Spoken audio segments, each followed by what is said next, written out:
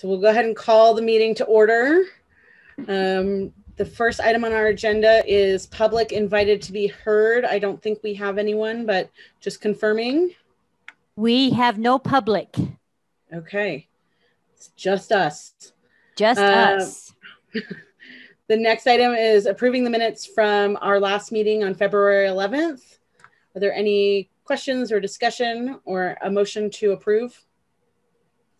I move we approve the meetings from the meeting minutes from January 11th, Second, Okay, February 11th. My apologies. Mm-hmm. okay.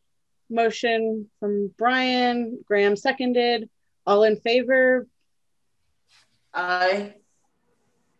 Okay, looks unanimous with Madeline's aye. All right. Um, the next item on our agenda is an update on engagement strategies to gain deeper understanding from the community about human service needs. Um, and this item is really a continuation of conversations we've had over the last few meetings around um, community engagement. Um, Eliberto or Karen, do one of you want to start or should we start with some discussion first? So I have a PowerPoint that I was going to take us through, and then we can get into discussion. Okay, perfect. So I have it up, so I'll be driving that. So let me let me do that. Can you all see the PowerPoint? Yes. So um, we uh, we've been talking about this for some time, uh, and Karen and I have been talking quite a bit about it the last several weeks, and um, we uh, wanted to bring this conversation to the board, really to get input on on how to move forward. Part of the challenge, and we'll get to it, was just trying to figure out what is what is what we're asking the board for, and that took some time. Uh, but I feel that uh, we've reached some conclusions of where what we're actually asking for, uh, and so um, we'll, we'll get to those in a, in a second. So this is just a quick um, PowerPoint that provides some context and background on, on why we're having this conversation.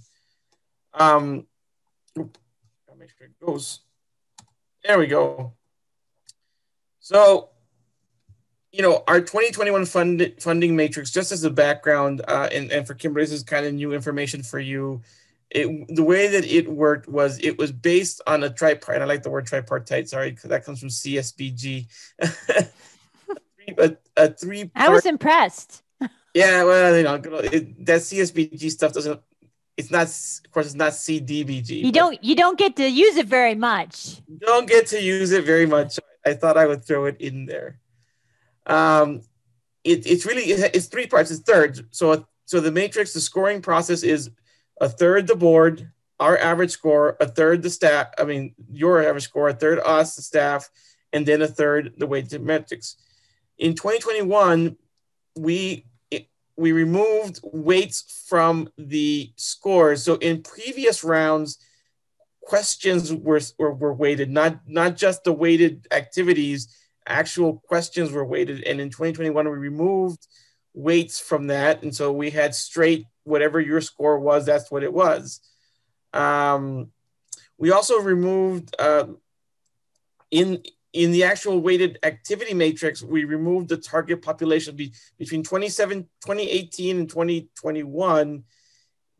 People, agencies and programs got weighted points for specific target populations that have been identified in the 2016 2017 um, uh, human service needs assessment. And so we removed that. And then and in discussions with the board we we kind of bifurcated the here's another big word bifurcated the the weighted score between whether the program was addressing one of our priority areas and if they were doing one of the activities that we had identified via the new human services needs assessment. So that that's kind of the way it was. And what it did, it looking at the data, it did not have a large overall impact on funding.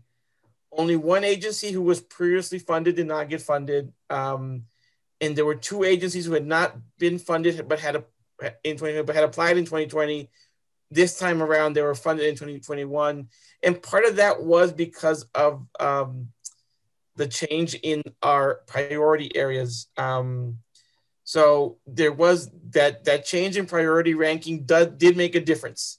Um, and the other big change was had nothing to do with the matrix itself. It was at the board's decision to fully fund housing stability that was the other, but again, that was less about the matrix and more of a board decision.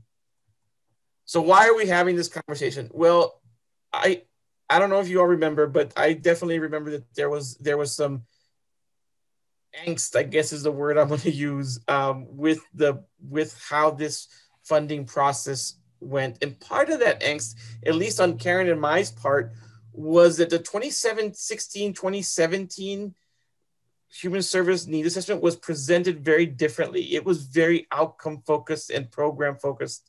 Um, what programs should we fund? What target population should we we make sure that are are prioritized? And this new one is very different. Um, it, it it it talks about activities, some activities, some very specific activities, and I'll remember, remind you like things like car repair that's not necessarily a program unless it is a program, but not many people have that. And then it also it also talks in a lot of principles and big philosophies like no wrong door uh, type of so or more wraparound case management type of situations. So it was very different than the 2016 2017 uh, needs assessment. So the challenge has been that Karen and I had like and, and I borrowed this from a friend who, who always, when I was doing programs, would ask me, "What's the what? What what is it that we are asking?" And so it took me a while to figure this out. But here is what we need the board's help for. And Karen, please jump in at any. Um, one question number one is this needs assessment highlighted areas that city the city has not traditionally funded. For example, employment. Yet the needs assessment says support or it, it actually said proactively support employment. And Brian, we're not going to talk about this tonight because I think it's different, but Brian has done a great job of looking at that and, and, and looking at linguistics and making some really rec- good recommendations that we'll get to. I'm not sure if we'll get to tonight, but they're not what we've funded. So how should we address these areas? Also, it provided principles and best practices, no, no wrong door approach, wraparound case management. Uh, what's the other one? Um, I think other principles. Um, there was uh, reducing racial tension or the importance of uh, you know all of these. And so the question is, how do we address these? And I have some options. Do they become part of the you know if we think that they're really important? Do they belong in the application and how we evaluate the application? Do they become another weighted matrix? In other words, do we add them to the, the weighted matrix we have now? Do people get extra points if they describe how they do these things well? Or do we want to fund these areas? Do they become another area? So that's the conversation that we want to have uh, with the board. And then once we do that, then we have, there's more to this PowerPoint, but I'm going to stop sharing for now so we can have the, unless you all need the questions, but if not, I'll just stop sharing and we'll have the conversation and then I can continue with the PowerPoint. Does anyone have any questions um, about what Eliberto just shared or any reactions to that? Yes, Brian. Thank you, Caitlin. I, you know, having gone through a little bit some of that language, it, it's a, um, it's remarkably different. The 2017 Human Services Assessment versus the 2020, and uh, I really myself struggled with, you know, these. There's like the the what on one hand, which is really kind of outcome related, and then there's as Eliberto, as you mentioned, there's these how. So the what could be, um, you know, increase housing stability, right? And that could be rent support. And then the how ends up becoming something like um, no wrong door. And um, I guess one of the questions I have is to what extent is the how an agency thing to address, or is it more of a systemic city level thing to address? Like if the agency provides a program that is rent relief, is it then kind of is there a network, so to speak, where the city says, okay, no matter where somebody walks in, they're going to learn about this program? Uh, because the agency can't control where that's going to happen. Um, so that, that, to me, I, I just struggled with that a little bit. Yeah. Um, I mean, I, I would say um, that question of whether it's on the agency or if it's systemic is really, to me, that particular example is really systemic and it requires the leadership of the city. So, like, I reread through the executive summary that was included in the packet. Um, and one of the things that struck me is that some of the things that are identified here are very much things that, like, we can fund, but that we also, like, bridging the digital divide and having a clear, like, strategy for that rather than like putting that in the hands of a a nonprofit or a, an agency that how question becomes of like how does the city actually like corral essentially the agencies that we're working with toward a strategy so they're not just all throwing you know spaghetti at the wall to see what sticks but that it's actually like done in coordination um, and there's only so much we can do through funding agencies to achieve that um, because yeah. it still needs like that similar to with the no wrong door approach like that has to be something that is like emphasized throughout all of the agencies. It can't be on one agency to do that. Kimberly.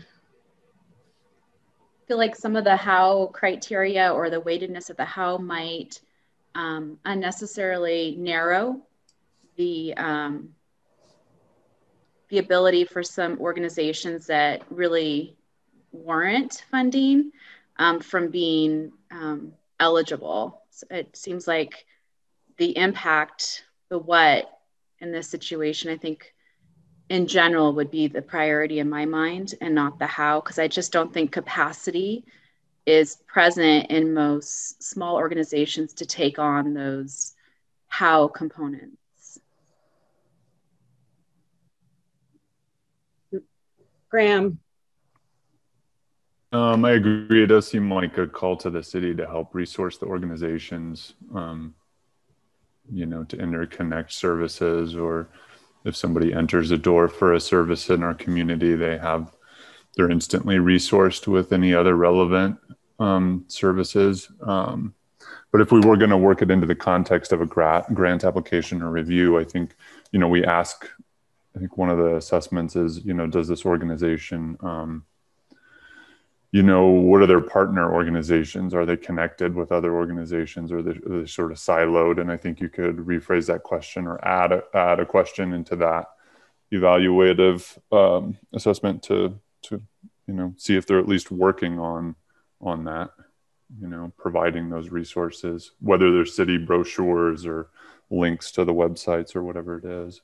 Similarly, with the unemployment issue, you know, I, I think that maybe that's a call to the city. I, I, I may see how it's it's on us on this group to a large extent, and you know, one of the buckets would be uh, security and education. Um, you know, I think there's a couple of buckets you could make arguments for were relevant for an employment, but um, I don't know. I, w- I would ask the city uh, council, I guess, if there's some other mechanism to support employment. Yeah, I mean, I, I think about for employment, you know, things that attract companies to bring, you know, to come here to, you know, and having a lot of the services that we have. You know, I've, I've talked to folks who have small businesses here and the fact that there are resources um, for folks to get, you know, English as a second language training or um, the one agency that we heard from that actually did like sort of not just like introductory ESL, but a, a second, you know, essentially like more business oriented um, language. Those types of resources are the types of things that essentially create a population that they want, that the companies then want to hire.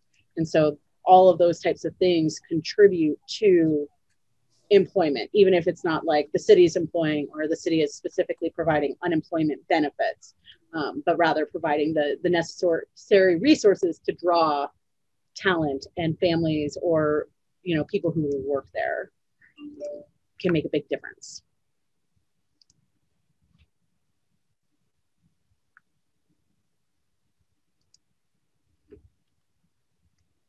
Other questions or parts of this conversation before we continue?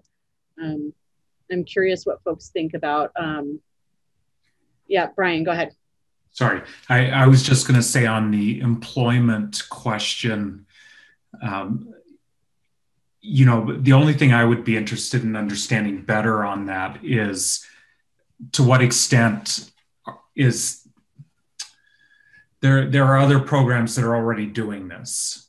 So is it really the best use of city funds to duplicate those efforts or try to go down a different path with agencies?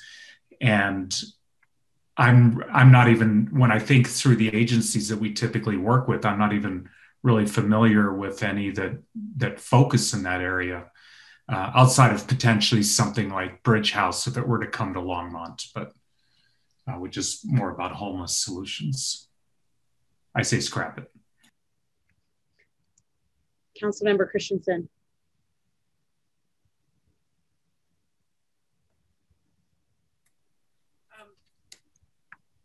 So I, I think that uh, employment is really critical. But uh, right now, it's um, privatized to employment agencies, and the county does it through workforce.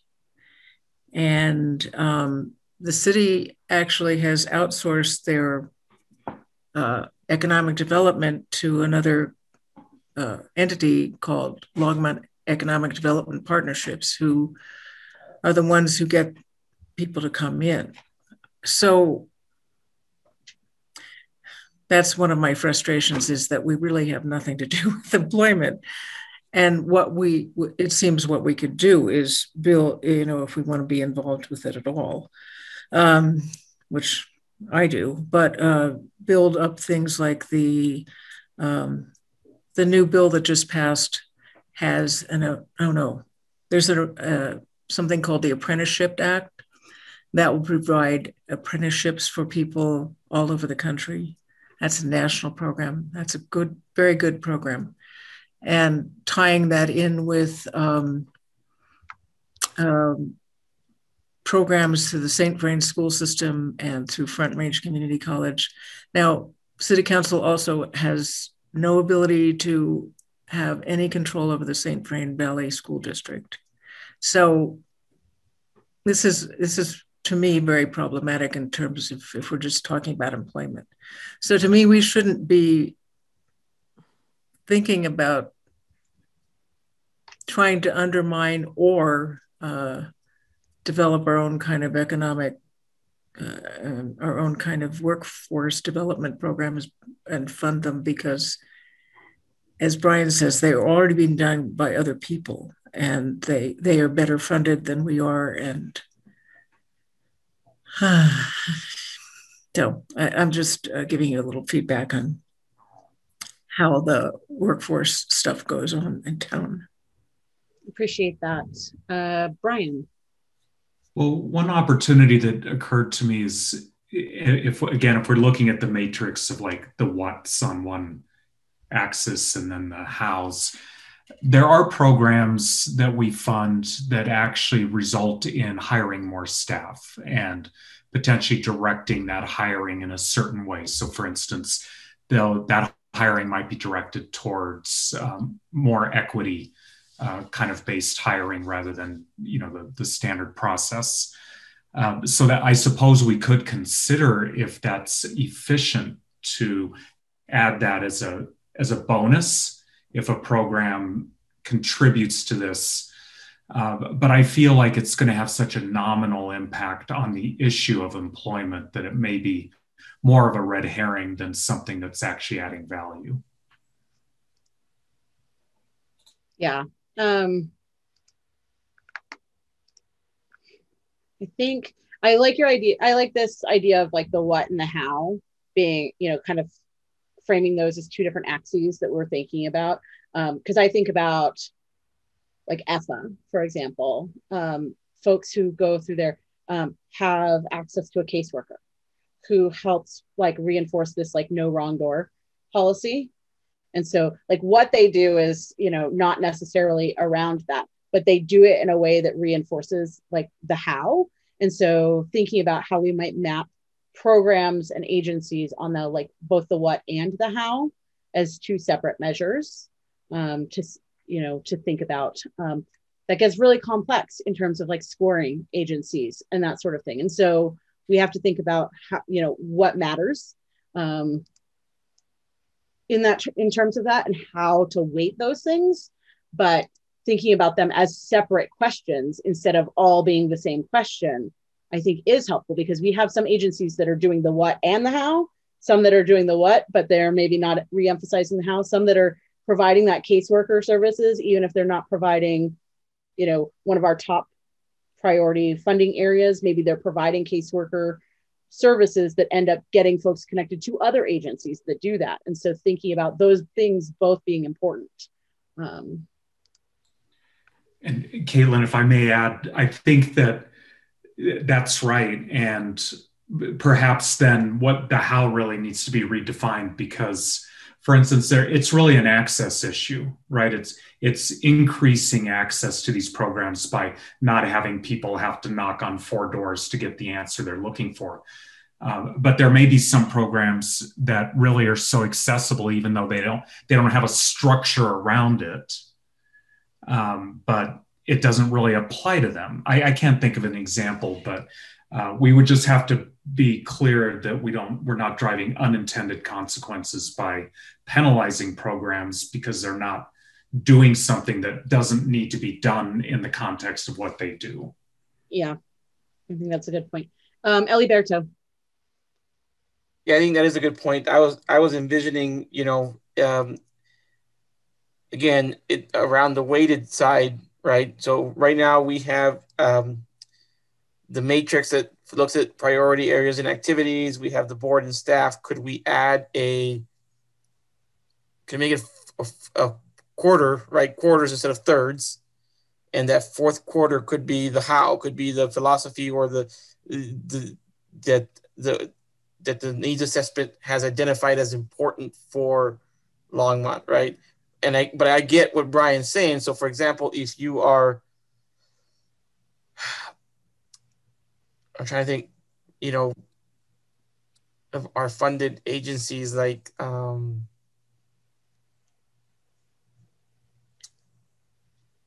Intercambio, right? Intercambio provides English English language learning. Now, they do connect folks to other resources. I know they've been helpful during this pandemic, but that's not their that's not their thing, right? Their their thing is teaching folks English. So would they be penalized because they don't have a formal how, right? We, we could put that into the application, right? So these are our values. Explain how you, you know, use a no door, no, no wrong door, or whatever other things we want to add. Um, we could add a question about that and we could and we could and we could rate board i mean programs on that but w- will it unintentionally impact agencies? So that's that's my question. Yeah um, one thing i think might be interesting to think about there too is um, maybe the that how it particularly around the like no wrong door approach maybe it's less of a criteria and more of something that we emphasize um, that we expect agencies to um, to do to some extent or to um, help us understand why it's hard for them to do it. Because i think some agencies obviously have a lot of resources and they have caseworkers and so forth and some agencies don't.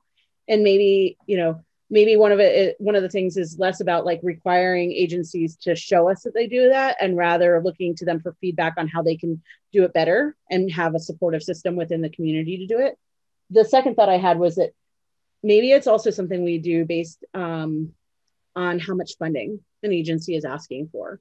You know, an agency that's asking for $100,000 um, versus an agency that's asking for $2,000. Like those are very different requests and very different like ways that they could put that money to use. And I think that like, you know, an agency that's only asking for $2,000 is presumably a much smaller agency, probably doesn't have as many resources, that sort of thing. Whereas one that's asking for a lot, I think we might have higher expectations of what they're going to do um, because that's a fairly significant investment by the city into their agency. Um, and so we want to make sure that they're, you know, the top of the top if they're going to be getting that much funding. Whereas, you know, there's less risk when we're giving smaller dollar amounts to to agencies. Uh, Councilwoman Christensen. Feel like we're kind of, I mean, observing this over the last seven and a half years, I feel like we're getting more and more and more complicated. And, you know, originally we decided we had these, what is it, five or six pillars of things that we would, the city would fund because these are what the city needs for the people who live here. And we made housing a priority, we made safety, we made self sufficiency. And now we're adding more and more and more layers to things. And I, and, and we are expecting the agencies to know what we're doing and uh, to put this in their description every year when they apply without knowing that, oh, we've changed the um, We've changed what we're looking for. It, it gets, to me, this is just very complicated. I, I, I would, I don't know why we're making it so much more complicated. To me, the, the, the concept of no wrong door just sort of opens it up as to, well, we should just fund everything, but we can't fund everything. We have to really be selective to these these priorities we've decided are really essential to the people in Longmont. And that's just my opinion. I'm a simpleton. Graham, you're muted. Thank you. Is the no wrong door issue brought up because in surveys or in focus groups, people people express frustration about going to an organization being turned away because their needs weren't be able, being able to be met there and then not rerouted. I mean that and, and then if that's really what that problem is like what is the magnitude of that problem? Like is it big enough for us to kill our brain cells over or is it just like something you know that we bring up at site visits and sort of like you know hey based on the fact that it shows up as like one of the top things from this human service needs assessment, I would say that it sounds like it's one of the the bigger priorities. Um, mm. And it the suggestion was that it's hard for residents as well as stakeholders, which says to me our agencies as well, um, and folks who are supporting them to find information. It's a you know the executive summary says it's hard for residents and many stakeholders to find information about programs or services available in Longmont. Difficulty finding information is amplified for residents who lack access to the internet internet capable devices, or have limited digital lit- literacy, language access is also a barrier. Um, so that sounds like a City of Longmont marketing issue, not an agency issue. We need to publish and distribute information about the agencies that we fund and are available for services. That's my view. And how, because that would be accessible to many agencies as well right? Like they they don't have necessarily know what all the agencies are that are around them so. Uh, brian and then councilwoman christensen. Thank you. Um, ignore the cat in the background. Um, so I, I agree with councilmember christensen that you know the outcomes are primary. That's the direct benefit that residents are getting. These these questions of how efficiently are they getting them is uh, more a matter of uh, you know there's frustration in the system right? I mean it's a big system. There's a lot of agencies and it is frustrating. Uh, so there may be things that can be done in order to facilitate facilitate the cross flow of information. I think of, for instance, at the markets, we have people there who are also can direct people to other programs, but they can't sign them up for those programs. All they can do is say, go over here. And that's not what people are necessarily wanting. Um, so I would just, I would advocate that to Councilmember Christensen's point, we focus on outcomes and then keep an eye on these kinds of efficiency issues. The one issue that is not efficiency and is critical is equity, which we are working to include. And I think that's one of those clear, like, kinds of cross matrix things. Uh, but other than that, I, maybe it's just something we can be aware of and see how it fits into these opportunities. Hmm. Councilwoman Christensen. I think I was uh, misunderstanding what we were talking about with no wrong door. But, um, you know, when we set up the um, coordinated entry system, that was supposed to solve this. They were supposed to be, people were supposed to go, be able to go to the Our Center or Hope or uh, the Hub or any of these agencies and register with them and get the same thing everywhere. I don't think that's working so well, perhaps because that's what we're hearing. It isn't working very well. And so that is something we need to fix. And you know that um, Austin, Texas created a program called AskAuntBertha.com about 10 years ago. Anybody can use this, but our city has refused to um, purchase or purchase it, which would make it much more effective for run. Anybody can take their cell phone, go to this, go to askauntbertha.com. They can type in housing. They can get it in five different languages. They can look up uh, food. They can look up anything, and they can find out where the agency is, what are the hours, what do you need to have, um, how to get there. This isn't, you know, the stuff is out there to do these things to make it more accessible to people.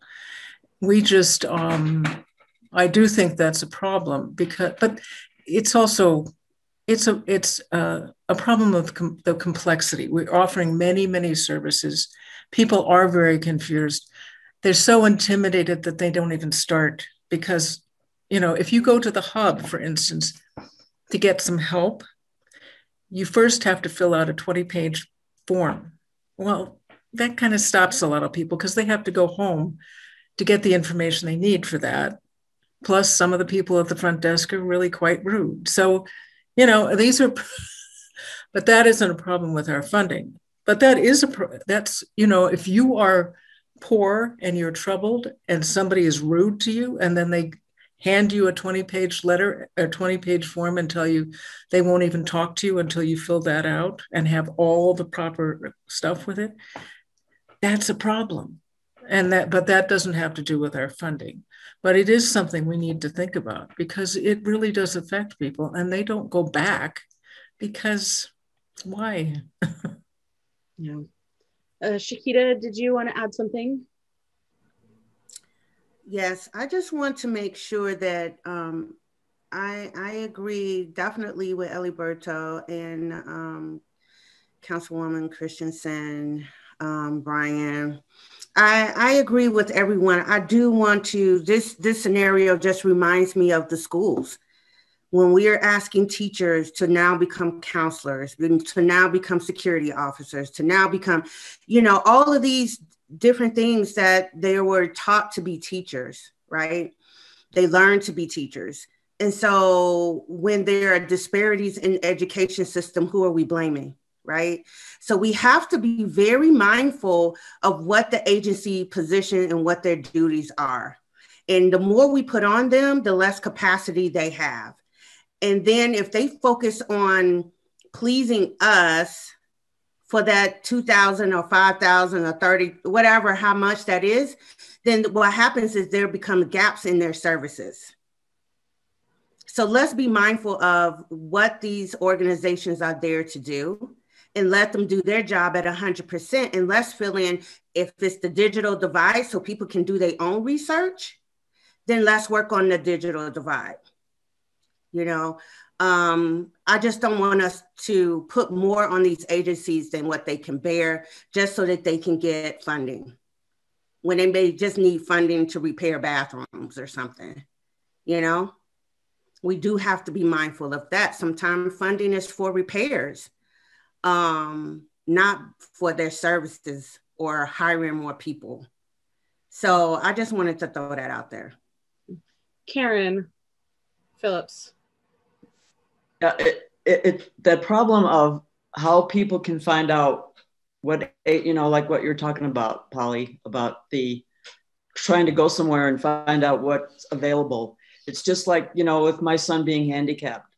There, there's so many agencies and so many different directions that you have to go in that you, you just get mind boggled of which where to go who can help you what agency does this what agency does that. It's just i don't know how we can help people resolve that situation of you know sitting down and trying to figure out to, to get through it let alone the funding part of it but to get people to know what's available and what direction they need to go and who they need to talk to. I just wanted to add that too yeah. I mean, I can totally like my mom was sick and couldn't work and came out of a hospital and had to go into a rehab center. And when she came out, we were told, okay, you can contact these like eight agencies for various needs. You have to contact this one for food, this one for housing information, this one for medical. And every single one had different paperwork. And a lot of it was very similar, but a lot of it was different. And it was just like, and I was, I think I, at the time I had like a one year old and a five year old. And I was like, I'm sorry. Who who actually even has like I was like she's not in a position to do this. I don't have the time to spend 4 hours filling out forms for each and every single one of these agencies. And so it's easy and I was like and we have access to a whole lot of stuff that many folks in this community may not have access to. And so um yeah, I, I really appreciate the like you know what Shakita and Karen and Councilwoman Christensen and Brian are saying also about like simplifying rather than making more complex. Um, yeah, I've been thinking about this. Like we did a whole bunch of like adjustments around which priority areas got what percentage and stuff like that, and it got really complex really fast um, in the last funding cycle.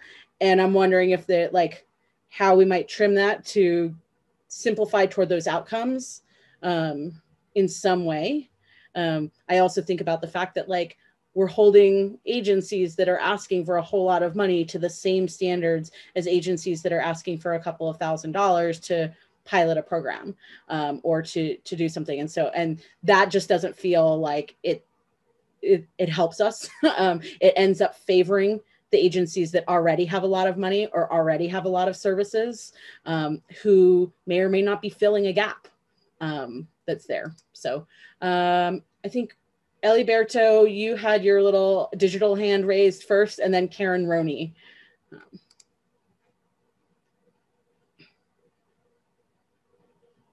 So just just a couple of these. One, I want to pay attention to the time because I know Kathy has stuff as well, um, and we and this is a great discussion, and we could take it for a long time. But I want to make sure that Kathy gets to her stuff as well. Um, but just a couple of context points to, to the board. One is the conversation about no wrong door is much bigger than the than the city. It's been I've been part of that conversation for years with the county and other nonprofits. It, it's it's a big challenge, um, and part of the challenge is that there are things that no one agency can control. For example, HIPAA laws or uh, you know, federal requirements on documentation and all sorts of stuff. So I just want the board to be aware that that our funded agents can't always control what they ask for. You know, our, our CBD, our CDBG folks, right? Uh, rental assistance was much more complicated than our COVID relief rental assistance because federal rules. So just want to make sure that we that we keep that in mind, um, and and also watch the time because I know Kathy has has things that we need to get through as well. Karen Roney. Well, I, I took my hand down. I it, Okay. I was really going to the same place of of um, Eliberto. Is that you know we've been at this discussion for about forty five minutes, and I know we have some things that Kathy needs to talk with us about. So so I'm just wondering. Um, so Eliberto, do you have any? I, I mean, we have a lot of input. Maybe we just um, try to synthesize that. I'm hearing try to you know don't overthink it, don't make it overcomplicated. Um, you know keep our keep our focus on the primary outcomes um yet how to consider some of these other you know hows if you will so i think we have a i took a lot of notes and so you know unless someone else has a summary let us just kind of go back and um put this together and 'cause i think we i think we have some ideas Brian. Thank you, Karen. I, I would just say for my part, I, I'm I think the question is if they should be considered, not so much how. Um, Right. So just Right. to move that dial over a little bit more. Yeah. Okay. Um, does anyone have any parting items before we move on to the next item in the agenda? I want to make sure folks feel like they've been heard here. Okay. Um, Eliberto, I think, are you going to pick up the rest of your PowerPoint um, later in the meeting or anything else you wanted to cover before we move on? you know, if we have time, but I, I, feel that what, like Karen said, what we've got, I think I'm okay. We can come back in April. I mean, the good thing is we're doing this early in the year, so we can come back in April with further conversation, uh, depending on how, how heavy the, the April agenda is. Okay. And and if if if need be, we've done these in the past. If need be, we will call a special session to to, to suss this out more. So Okay. we'll talk with you, Kaylin, about that and see where we are. Okay, thanks so much. Um, I appreciate that we're having this conversation from the start of the year uh, because even if it feels like we're spending a lot of time on it now, it also feels like we're going to get to that funding cycle and all be have shared a bunch and thought about it a lot together as a group so that when we get to that funding cycle, we're not having to like wrap our heads around all of the questions and how we're going to do something and that sort of thing. So I, I want to thank everybody for time and energy put into this over a period of time. Um, I often think about how it takes many of us, you know, advertisers talk about it takes seven to 11 times seeing something before people will actually buy it. Um, and so I think about that when like thinking about processes that sometimes people need a little bit of time to like wrap their heads around it. Um, so our next item is training on affordable housing investment strategies. And I believe that is Kathy. Yeah, so we are um, bringing this back, and I have revamped it somewhat. Um, the last time we took a look at this, um, some of you were new. Some of you had been through maybe one or two cycles of um, housing funding, and so and we have a new a new board member as well. So kind of wanted to throw this um, out there again um, for thoughts around it and and just as a a training around housing as we get ready to um, release another fund round here probably now in april. I thought we'd hit march but we're probably not going to make march. So um, let's see if i can share.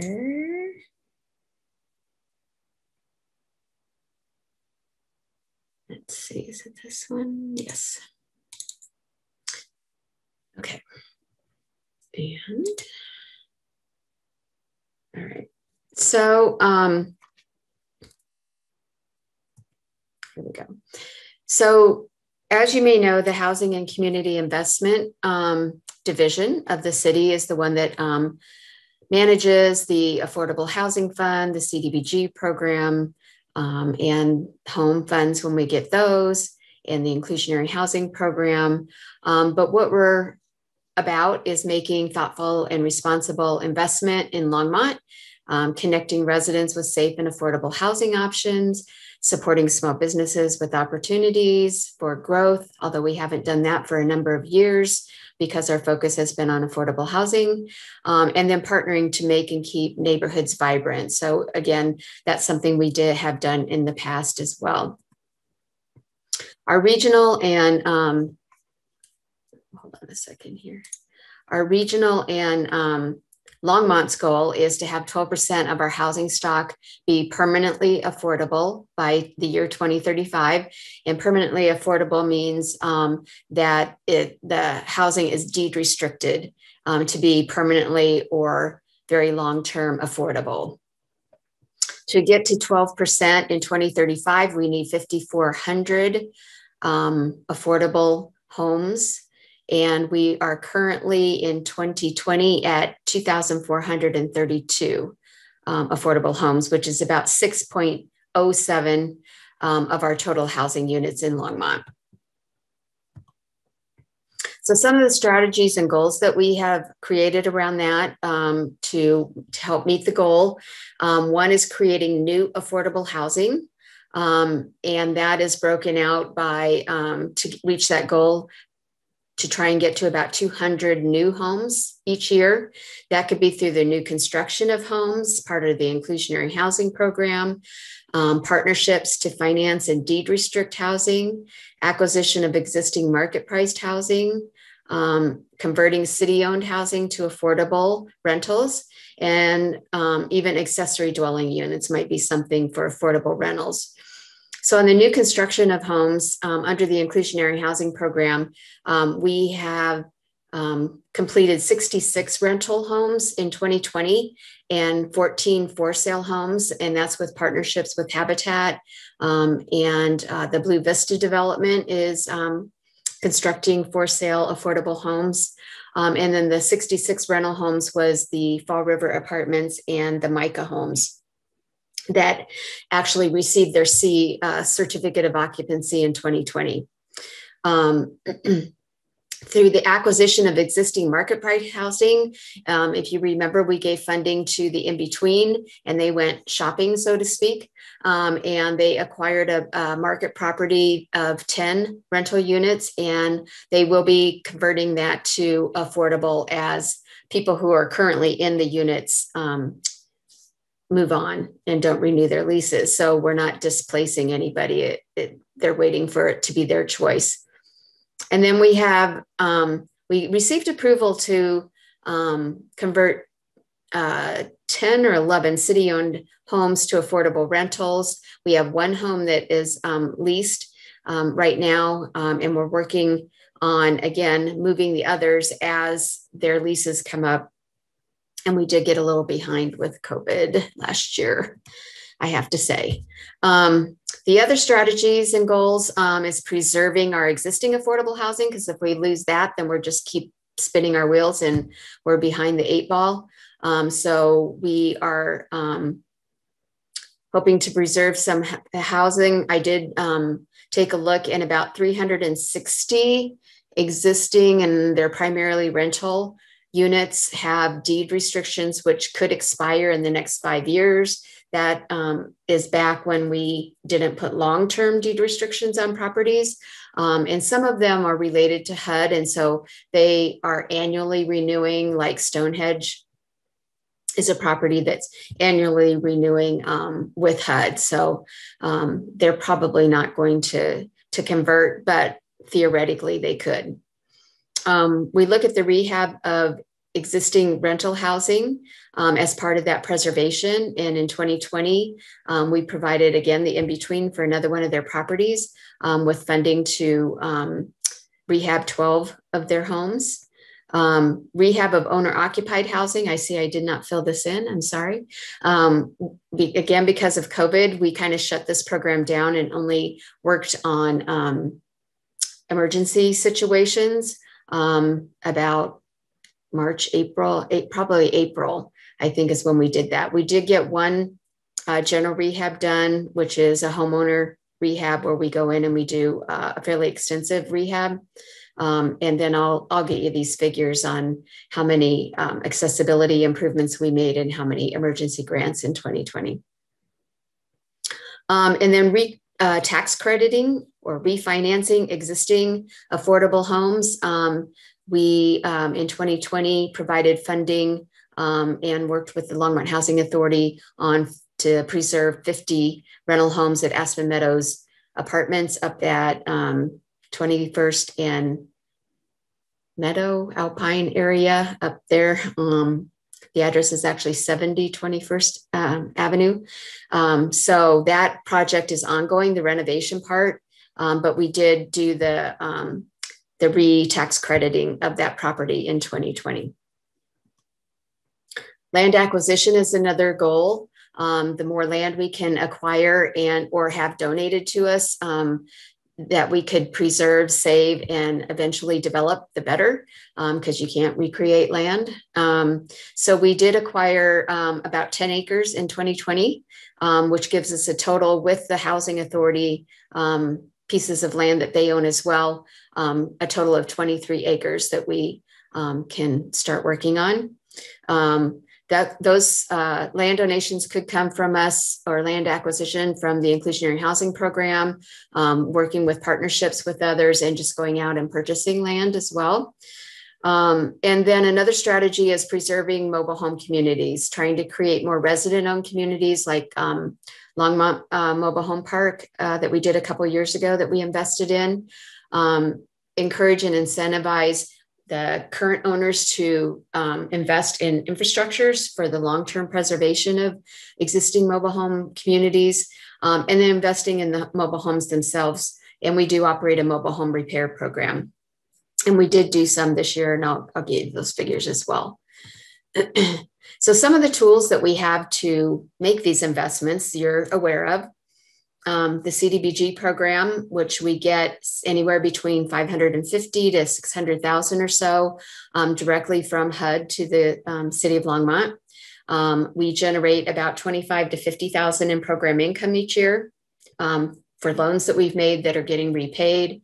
Um, it pr- has pretty flexible u- uh, uses. It can be for housing, infrastructure, neighborhood revitalization, like I talked about, economic development, public services um, kinds of activities. Um, and we do have the ability that we can either grant the money or loan it, um, depending on what makes sense for us. Um, the funds do have to benefit low and moderate income households or families. We also have access to the home funds through the home consortium partnership that we have with the city of Boulder, Boulder County, and the city and county of Broomfield. Um, we go on a rotating basis with each of the four communities receiving um, the funds, all of the funding basically every five years. Boulder gets um, two years of allocation because um, they contribute more to the um, to the uh, home um, formula. Um, but it's about 750,000 to a million dollars um, each time to each community. Um, it's not very flexible. Um, it has long-term commitments by the um, projects that we invest in and the developers and owners that that receive the, the funding or um, uh, that the project uh, funds go into the project. It has to be used for affordable housing. It can be granted or loaned. Um, but it is, um, they're really ratcheting down how you can use the funds. So they're making it, HUD is making it less and less flexible. Actually, Congress is, is doing that. And then we have our local affordable housing fund, where we get um, a million dollars a year um, that's transferred from the city's general fund. Um, we get about 150,000 to 200,000 in loan payments that come back in revolve. Um, we've been getting about 150,000 from the our share of the marijuana tax. Um, and then we are starting to get some inclusionary housing fees in, paid in lieu of providing affordable housing. Um, I think we got 14,600 in 2020, and we're estimating we might get about 800,000 in 2021. These funds are highly flexible because the city controls them. Um, so we can um, go to council and if there's something really innovative and ask to do something a little different. Um, they do have to be used for affordable housing um, and they do have to be loaned. There's a couple times that we have gone to council and asked for them to be granted, but those are very few and far between. And I should say, if anyone has any questions, somebody call it out because I, I can't see anybody. So, um, so some of the tools, um, again, that we have talked about, we've got regulatory tools to help us meet our goals.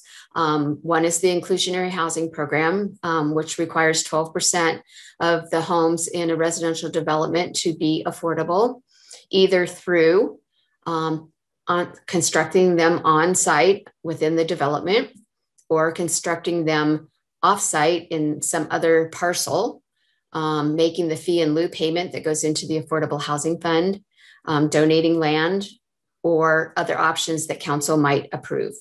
And both of these pictures are um, prior for um, inclusionary housing when we had our, our first program. Uh, these uh, structures were built um, and have affordable units within them from that program. So Kathy Kimberly mm -hmm. has a question. Okay. I had a question about the fee in lieu, mm-hmm. and just wondering if maybe an unintended consequence of that was that it's an actual barrier to affordable housing. Well, so there's a couple opinions on that, I would say, and um, Councilmember Christensen can correct me if I'm wrong, but um, under the prior program that we had, before it was repealed, um, we did get a lot of fee in lieu um, that went into the Affordable Housing Fund, which we then turned around and put back into the community and, and loaned it out for other projects. And we did a study, and we actually ended up with more affordable housing units than we would have gotten if we would have just gotten the units instead of the fee in lieu. And that's because um, most of the fee in lieu payments came from single family housing, um, for sale housing developments, and most of the funds were reinvested into rental, affordable rental projects. So we got a lot more units, and they actually served lower income families um, by doing it that way. So when we started the program again this last time, that was, at least to some council, that was a real benefit that they saw that we could better invest that money um, for more housing in the community. Um, so I think it's a, it just depends on what side you're looking on at it or how you how you perceive it to a certain extent, if that makes sense. That's really Brian, helpful. Oh, sorry. See, Brian might have a question or comment. Thank you. Uh, Kathy, with I'm curious because uh, the fee in lieu efficiency makes some sense to me because you can also, like if you're contracting with the builder, for instance, uh, you can have smaller units, that kind of thing. So when somebody's doing, excuse me, on-site construction, are they also potentially reducing the size of a unit to make it affordable? Or does it have to be affordable at the same scale as the others? It, it does not. Um, so actually, a for sale housing development could choose to do its on site affordable housing as a small rental project um, on site if they wanted to, or they could do townhomes as the affordable in, instead of you know single family detached homes. So the um, there's a lot of flexibility within the um, the code. Thank you. I have a question, Kathy. Um, have we seen a lot of? I know, you know, when obviously developers are coming forth, you know, development, large developments have to be approved and that sort of thing. Have we seen a lot of pushback on if we've had developers that want to do essentially like multi, um, you know, so like essentially various income levels within the same neighborhood? Have we seen pushback against that? I, I've seen that in for example, the city of Boulder, there's a lot of pushback when anyone wants to put anything that's like more mixed tenants income. Mm-hmm. mixed income or like, you know, multifamily units, um, that sort of thing. Um, I wonder how Longmont has, um, how much we've seen that and what the results have been. so Yeah, I'd say there's usually pushback, especially around density. So if there is a multifamily development that's going in anywhere close to a single family neighborhood, um, there's usually pushback on that. Um, the developers themselves, there's some, um, and I think, you know, to a certain extent, it is giving them the benefit of the doubt that, um, you know, you're asking market rate developers to do something they're not familiar with. Um, if there, if it's a rental property that they now have to income qualify for low income and manage those units differently, not differently, but how they choose people that go in there um, differently and make sure that they are complying and that there's reports that they have to file, et cetera. Um, in a single family development, it's kind of the same thing. They're they're cautious about well, is there are there people that even are going to qualify um, to purchase the homes, assuming we build them? So we are trying to plan out. Eh, we can't get too far ahead because it's not fair to the um, people who might want to purchase to get them all excited about something and then no one ever builds it. Um, so we're trying to align our marketing um, and get a wait list of people for when we know we're going to have units coming up. So, um, but I think that would help um, assuage some of that if we knew that we had, you know, 50 people, families that were waiting to purchase you know the 10 homes that they're going to build or something like that so um, there's a lot of um, aligning processes and things to help them feel comfortable as well as you know be fair to people who want to get into housing they can afford and purchase something and am i correct i think last year we had one proposal where um, they basically because you had a market rate developer they basically ended up partnering with habitat for humanity i think mm-hmm. was to essentially do it as essentially on site but then they didn't have to be the ones running all of the like income qualification and and the things that habitat was a little more um, versed in doing mm-hmm. yeah there's two projects that are proposing that one is mountain brook um, which actually had um, eight habitat units. So there'll be eight for sale homes and then 26 tiny homes for the Veterans Village project. Um, so that's one. And then Habitat is also partnering on um, Sugar Mill development, um, which is kind of where the apartments are going up now. It'll be kind of back behind those apartments, and that'll be 12 duplex units, I believe they are um, when that gets going and approved. So yeah, having some partners like that is a is a great idea um, and something that probably will be considered by other developers when they see how these go. Councilwoman Christensen. I was wondering why you didn't include CHFA in funding sources. Well, because we don't control CHFA um, and we don't get a oh. direct allocation. Oh, okay. Okay. But yeah, they're a big partner. Um, everybody, almost everything actually goes through them 1st mm-hmm. tell you the truth.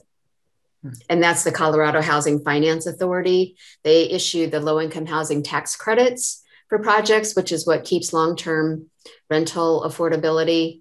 Um, and then they also um, issue bonds, um, which is another funding mechanism that is um, is needed in low income housing projects.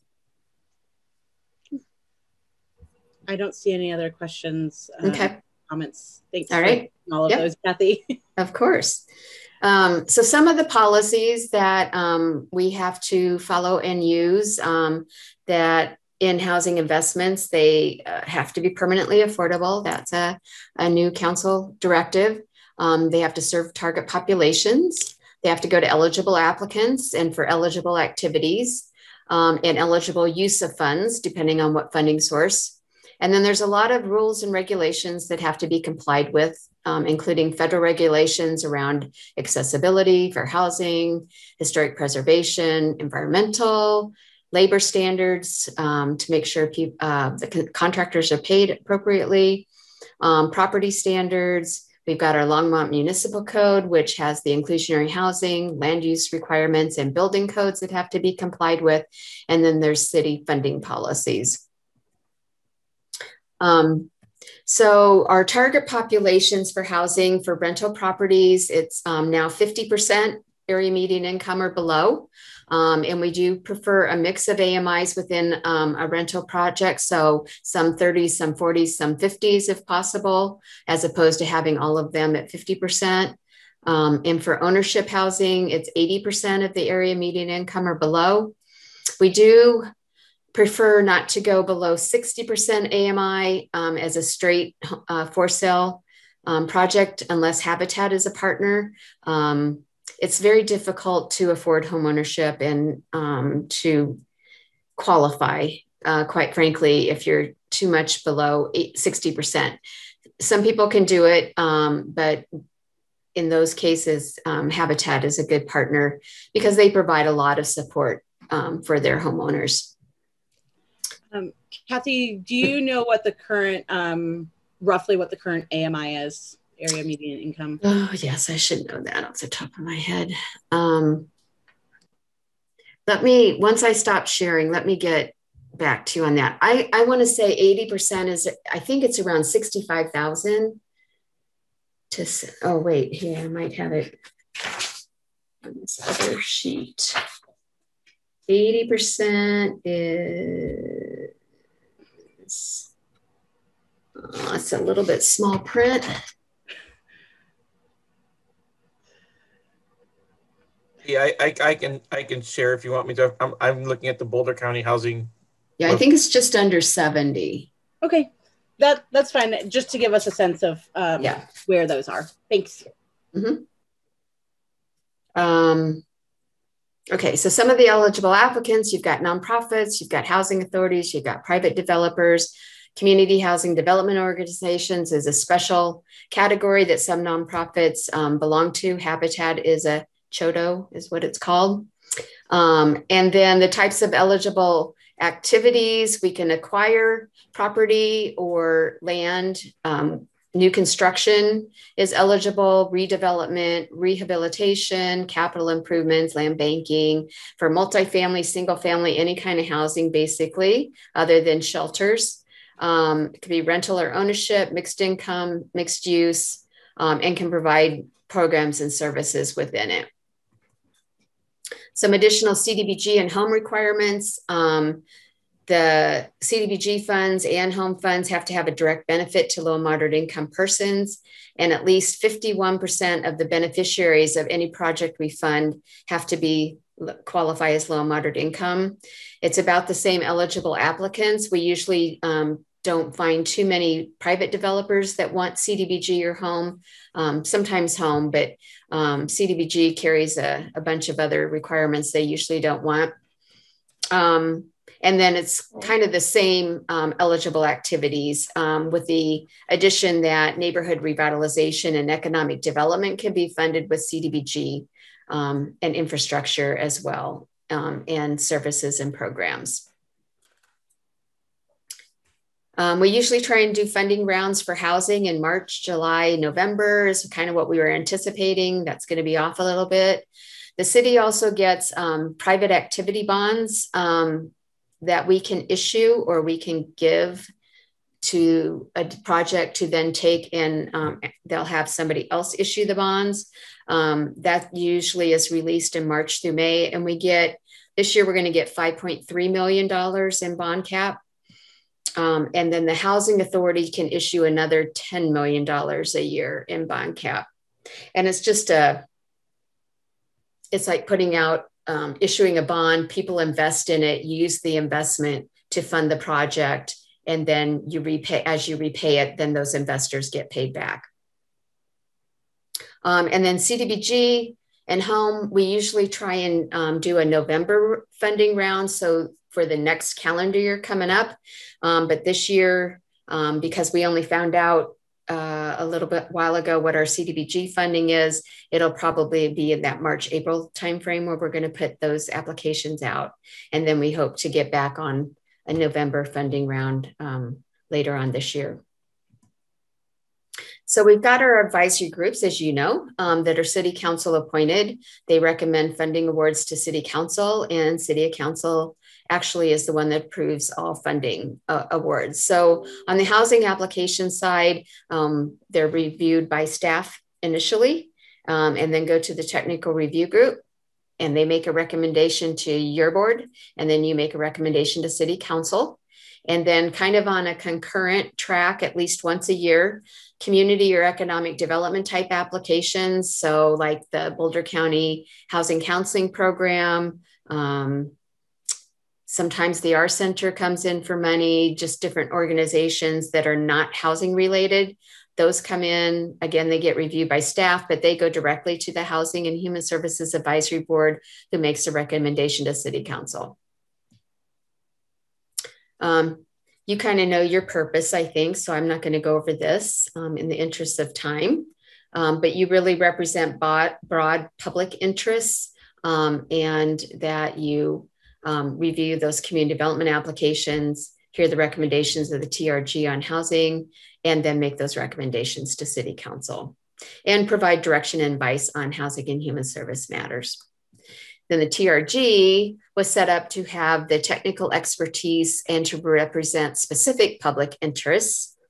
They also review applications um, and seek more information and understanding. So, really try and do an analysis of the housing projects. They recommend funding awards and loan terms to, um, to you, and then you can consider those. Um, they're set up on a three year uh, term with staggered, um, and there are no term limits for them. Um, they have moved to being a um, considered to be a public um, body, so their meetings are now subject to um, um, being broadcast. before they were able to review the applications in in private, so you so to speak, because they were just making a recommendation to your board, and your board was a, the public facing um, board. But um, the city attorneys have determined that they really should be more transparent um, in, in their workings. So some of the things that we look at when we get applications is does the project meet city goals and priorities? Does it provide a community benefit? does is there a documented need for what they're proposing um, do they have a proven development and management capacity and experience to um, complete the project is everything lined up and ready to go the last thing we we want or need is to have a project um, sit for years and years and not spend the money that we could have used for something else um, do they have committed leverage funds and um, collaboration um, with other agencies or um, uh, projects? And is there a reasonable per unit subsidy? So, one of the things that the TRG has really helped us with is um, coming up with some underwriting assumptions um, for housing projects so that there's a debt coverage ratio we examine for every project and compare them across um, with each other when we uh, get multiple applications. Um, try and get a, a per unit the cost per unit per annum for their expenses. Um, how does that compare to other projects? Um, we require a replacement reserve of around 300 400 dollars per unit so that they're saving money and they aren't continuing to come back to us as a project ages and they need to um, rehab or renovate or do something like that that they have operating reserves as well. So again they're not coming and saying we can't continue to operate this project um, because we've run out of money. Um, we look at the vacancy rate that they are using and what the annual increase is in that and then their developer development or administrative fee and a lot of these are um, similar to what CHFA uses or the um, Colorado Division of Housing. And then matching funds is important, um, but we haven't set like any kind of minimum minimums. We do try and use a loan grant guideline. So um, projects that are serving the lowest income um, at 30% or below um, would be eligible for a grant or a forgivable or a deferred loan. If you're kind of in that middle area, 31 to 50%, area median income, it might be a deferred payment or a forgivable loan. And if you're uh, above 50% to 80%, that um, likely you could um, pay back a low interest loan. um, we are committed to try and have public engagement and transparency. Um, so we do post funding availability on the city's website. Um, we provide direct notification of open fund rounds to all known housing developers. Um, and so we get a list from planning and development services as well as folks that we've talked to over the um, years. Um, all of our funding related communications and documents are available for public review except personal financial information. And then the TRG and um, your meetings are public and noticed. So, are there any questions that you have or anything around that? And I can stop sharing here because you've got a copy of the presentation as well. it's a lot. It's a lot to take in, which is why we thought maybe a another go round of it might be good. Kathy, I, I appreciate it. It's it's very complicated and it really does help to go through it multiple times, at least for me. Um, a couple questions. One is of these projects that are getting done, do you have a sense of how much of that funding, how much of the total funding is coming from the city of Longmont versus other federal sources or uh, investors or just the banks? Well, when we get to the inclusionary housing snapshot, I believe there is some information on that.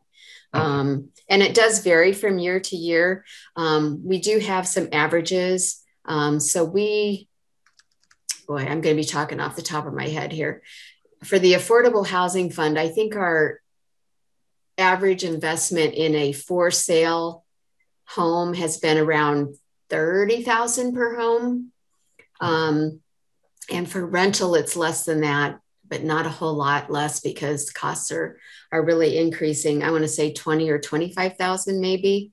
Um, and that does take into consideration fees that we waive um, when we make, pay, make a payment from the Affordable Housing Fund to offset some of the fees, as well as direct loans or grants um, to them.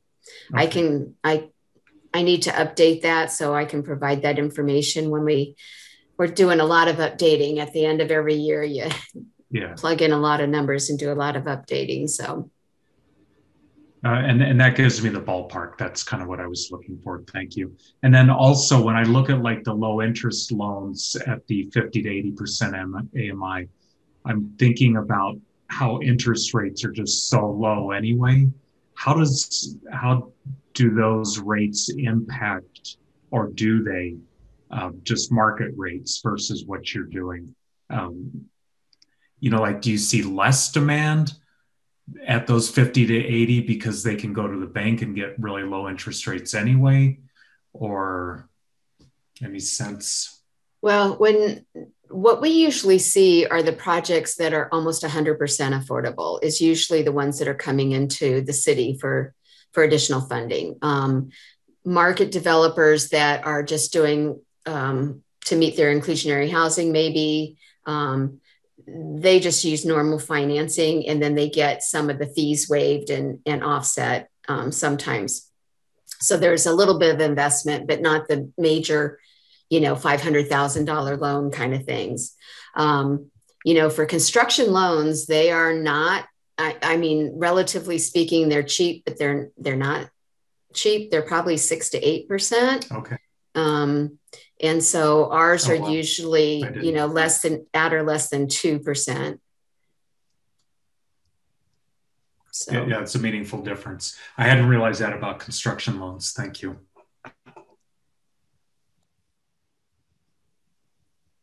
Any other questions, Kathy? All right. Thanks, Kathy. Mm -hmm. Um, the next item we have is um, the future, uh, reviewing the 2020 discussion about the future of the technical review group um, and providing direction going forward. Eliberto or Karen, you, I think one of you all maybe. That's Kathy. Oh, it's Kathy again. Okay. It's me Kathy, again. Kathy is the is six seven is five six and seven. Okay. on to number six. On to number six then. All right. So I'm going to share my screen again. And I am going to, where did it go? Here it is. Nope.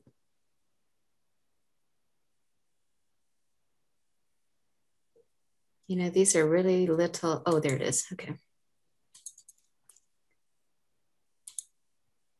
Okay, so some of this is going to be a repeat, and I'll go over it really quickly because we just went through everything. But the, the bottom line is you have seen through what we went through um, how complex things have gotten with the inclusionary housing, with the loans, all the funding sources, and all the restrictions and requirements that they um, that we have on those. So again, this is just, I won't go through this again, but all the different funding sources that we have available to us to make sure that um, are spent appropriately and, and properly and meet all the requirements so we don't have to pay back funding. Um, the policies um, and processes that we go through, um, all the different requirements around eligibility, um, and target populations and who is eligible, et cetera. Um, the evaluation criteria and the underwriting assumptions. We just went through all that. So this is just to let you know that that's it's complex and it keeps getting more and more complex as we go along. So I think really what we would like to consider and propose is that we combine the housing and community development application review um, and not split them out anymore. Have a review by staff. And instead of the technical review group reviewing housing applications, going right to the Housing and Human Services Advisory Board, who makes the recommendation to City Council. And there's a number of reasons for this. We've had an increased staff capacity with the addition of the inclusionary housing position that we've added. Um, she has a lot of experience in um, housing development and managing um, projects. And we've had additional staff training over the years um, in some pretty specific financial um, capacity management um, and uh, uh, the low income housing tax credit programs, et cetera. Um, there's more complex rules and regulations that are requiring staff decisions and direction regarding what funding source to use, what type of funding, loans or grants, et cetera, to make sure we're ensuring consistency. Um, we were finding when the TRG was um, doing that, trying to do that, that we weren't getting, you know, it just wasn't consistent. There's more complex financing of affordable housing projects requiring more detailed review than a volunteer committee can provide, resulting in the really detailed staff review and analysis that we've been providing the past year, year and a half. And as I noted before in the prior um, presentation, the TRG did help us set underwriting standards and grant and loan guidelines. So that was really um, was really helpful to have that that input. However, we're finding the work of the TRGs redundant with the detailed staff review and analysis that we now prepare for each project. Um, it's adding duplicative work for staff and gets to the same overall recommendation um, we are finding. Um, as I mentioned before, the TRG is now subject to open meetings requirements, which impact has impacted their participation. Um, they're much less inclined to ask um, probing questions, I guess I would say. Um, and even with expectations and direction to the TRG, um, as a result of the last time we talked about this and the direction that we got, we're still not getting those deep diving questions and analysis of projects that we're we get from staff. So one of the some of the benefits or options um, that we have here is we think Eliminating the TRG at this point would allow the Housing and Human Services Advisory Board to be more involved in the housing needs and housing projects Um, so you'd probably feel less like a rubber stamp than you kind of do now, I think. Um, we think it would allow for better integration of housing with human service needs and goals. We've been trying to, to become more integrated in, in considering those, and I think this might um, really help with that. It would provide quicker consideration and response time for applicants because it'd wipe out a month to six weeks of review time. Um, and then some of the options we could explore using the, the new Longmont Housing Authority Advisory Board, maybe in a different capacity um, to provide some input on some of these. And or we've talked about maybe changing the makeup of the Housing and Human Services Advisory Board itself to include more specific areas of interest and expertise, kind of pulling in some of those elements um, that we uh, that the TRG did provide. So that's kind of our take on this. And so we'd like to open it up for discussion and, and what you think about it. If you have any questions around it. Thanks, Kathy. Councilwoman Christensen?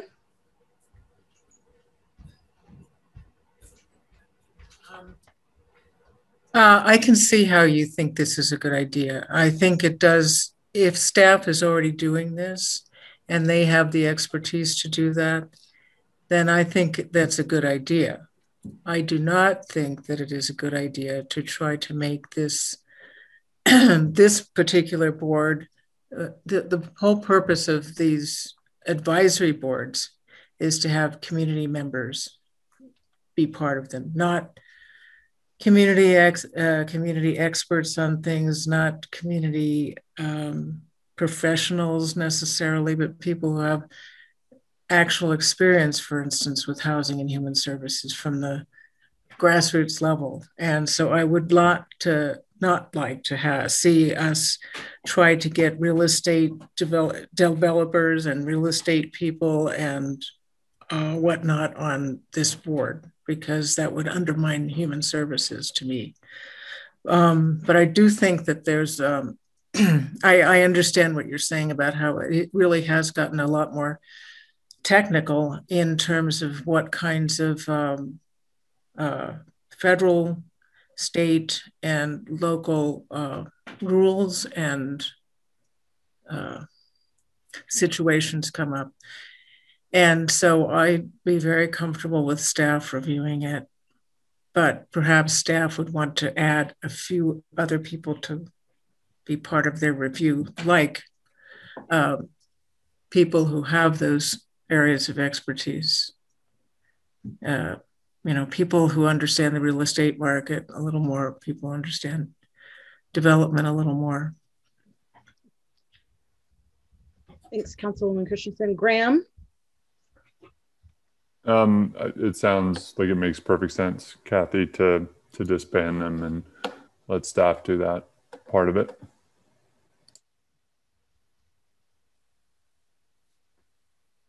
other folks who might, Brian? Thank you. Kathy, is my understanding was it's removing one of two areas of review from TRG. Is am I misunderstanding that? That would it be TRG wouldn't be necessary anymore? Right. That's what we're proposing. Okay. I am proposing. And to what extent was the TRG um, you like helpful because there was expertise that maybe wasn't in house, like you mentioned, a new hire, and versus the idea that it's a citizen group that is, you know, um, making sure that government funds are being spent uh, in accordance with citizen needs, that kind of thing. So, more of a guardian role than an advisory role. Um, do you have a sense of that? Um, was there concern about the city making these kinds of decisions without citizen oversight, so to speak? I mean, that wasn't why they were um, um, convened. Yeah, sorry, it Uh, wasn't sorry. originally um, put together. It was it was to provide the um, the analysis and expertise um, that the Housing and Human Services Advisory Board didn't think that they had. Um, they, I think to a certain extent, they felt a little over their heads um, around that and wanted that group to to review it from those different perspectives um, to make sure that um, the project was a, a, that we were recommending for funding was a good one. Um, and I think it, at the beginning it did serve that purpose. I just think as things have become more complex and as we've added staff capacity and knowledge, that it is it, it just is redundant um, to a certain extent or duplicative um, work. So sorry in in this context then our role would be more to um, provide feedback on how these projects are meeting the needs of the community based on something like the needs assessment or it wouldn't be technical expertise it would be more kind of programmatic outcomes that we'd be looking to meet yeah i think right? it yeah i think it would give you a better understanding of what um, what is in the community. Um, I think it would be something we've tried to do and haven't gotten all the way to is um, looking at the housing needs the same way you look at the human service needs and di- being more directive about what we should be funding with housing. So, you mm-hmm. know, do we have enough senior housing right now? We need to focus on family housing, or do we need to focus on permanent supportive housing versus, you know, 50% AMI housing kind of thing? So I think it would might feel more ownership to y'all. Um, and I don't, I'm not trying to be condescending or anything, um, but that you might have more of an ownership um, about the housing, like you do about the human service agencies funding um, around gathering the needs, understanding the needs, and then directing the funding um, more appropriately. Um, you would still be hearing the presentations of the project. You'd be getting our review and analysis and our recommendation, just like you would from the TRG um, staff I'm talking about. Um, so trying to, I, I think, I think it will feel that you will feel much more involved um, within the funding process. Thank you. Um, Madeline.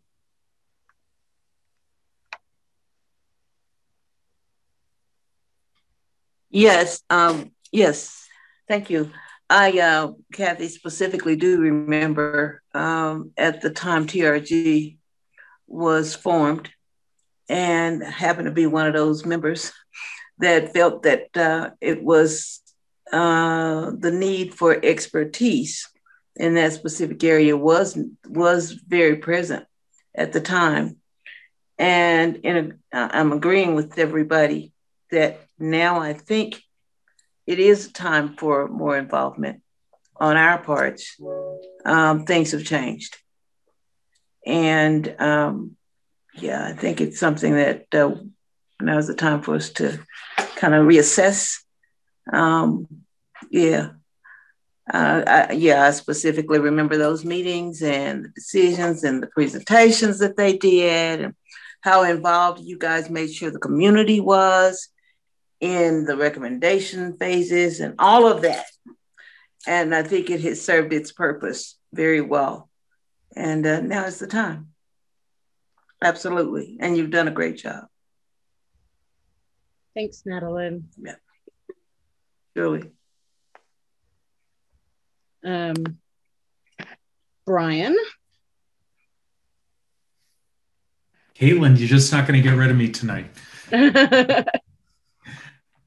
just one comment. Um, I I feel comfortable assessing to the level that you need. I think in, in the scope of our role, uh, but I would love to consider if there's kind of a consistent framework for presenting these projects that, for instance, may reference, uh, you know, like which fund is going to be drawn from, what is the balance, uh, just these kind of context pieces. Uh, just so for somebody like me, it helps me understand like, is this going to, you know, deplete the funds that are available for the rest of the year, and and how are we measuring these things on a on an outcome basis? hopefully just something simple. Yeah, I think that's great. Uh, even as a newer member of the board, I think, you know, what I've seen and what I've heard about the role um, of TRG, it does seem like it's duplicative. And to the extent that like we're asking folks to volunteer to provide the expertise, um, it seems like that's asking quite a bit when things are very technical and very complex, all of the different rules and requirements. So it's heartening to hear that the city has staff that are doing that, where we're where we're appropriately compensating folks for that expertise and we're getting consistency in how we're treating that.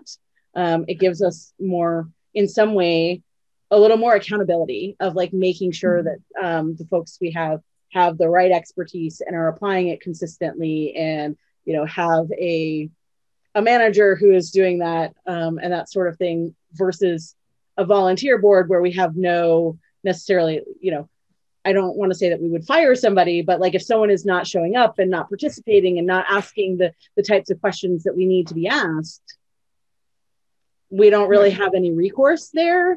And i think when we get into that those technical pieces we really need that expertise and we need to know that it's you know that we have ways of making sure that that stays um, you know that we are complying with all of those rules and regulations um, and that sort of thing um, that doesn't feel like something that we want to leave um, you know that we don't want someone in the city sort of overseeing that because it's such an important piece of being able to continue getting those funds and using them in the community. Karen Roney.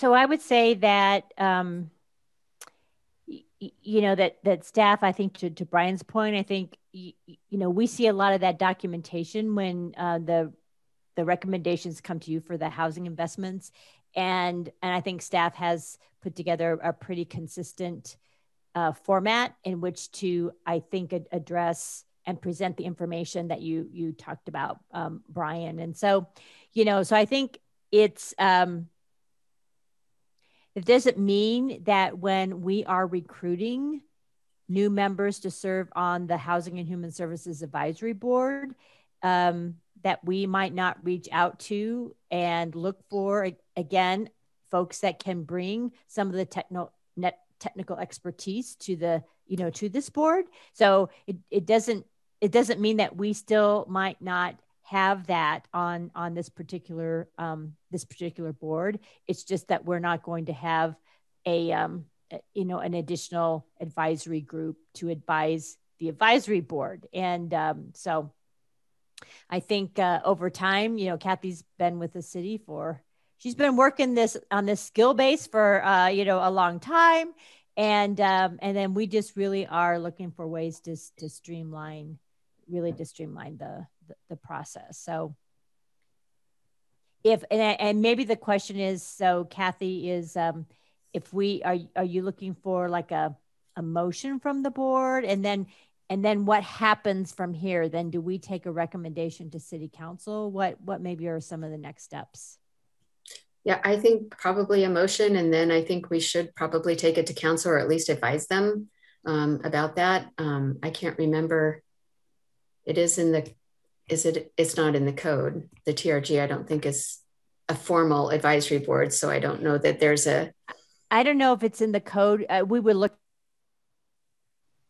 Oh you just oh, went mute. You just muted yourself I, I, muted myself. Um, so i think we did have we do have a provision in the ordinance that establishes this advisory board that indicates, and it might be that it stays there. It indicates, I think, from time to time we can appoint, um, you know, advisory groups or committees, but we we certainly will look at what's in the code and make sure it's aligned.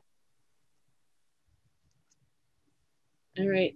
Um, if folks don't have other questions or comments, do we have a motion to move forward with the recommendation um, for staff to look at removing the TRG from, um, I guess, the, the review and approval of things for us. I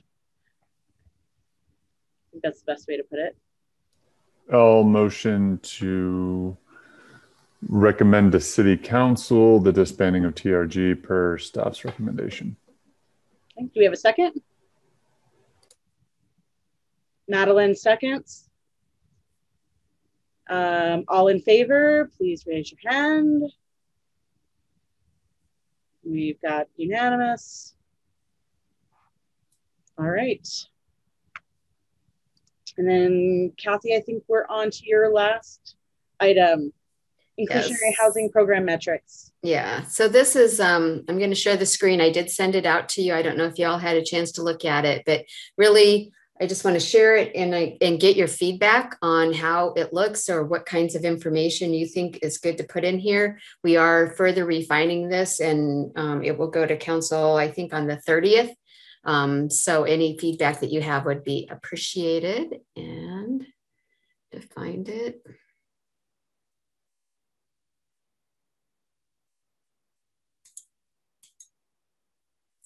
All right, where is it?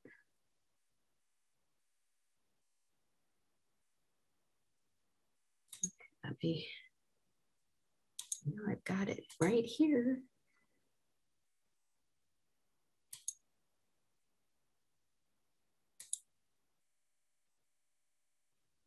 Oh. All right, why is it not? Oh, there it is.